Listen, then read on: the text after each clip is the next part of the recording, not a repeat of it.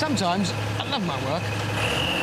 What I'm about to do, I'd get into trouble for ordinarily, but not today.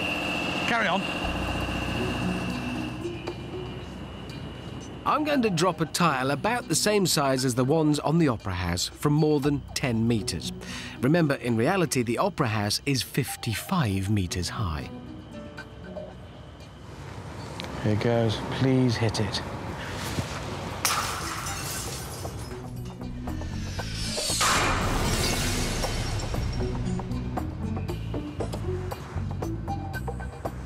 It's fine.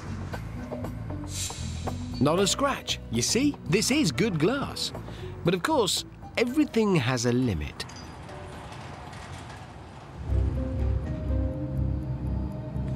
Now for the big one.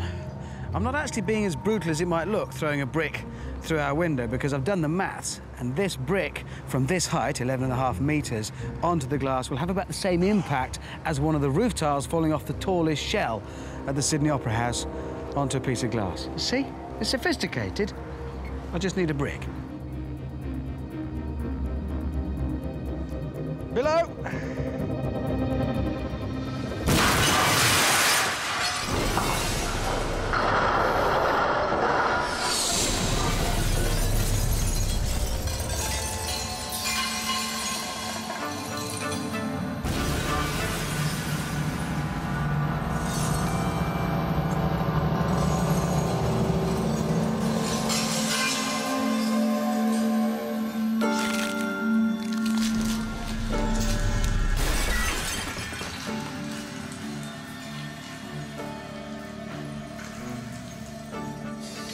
Oh dear.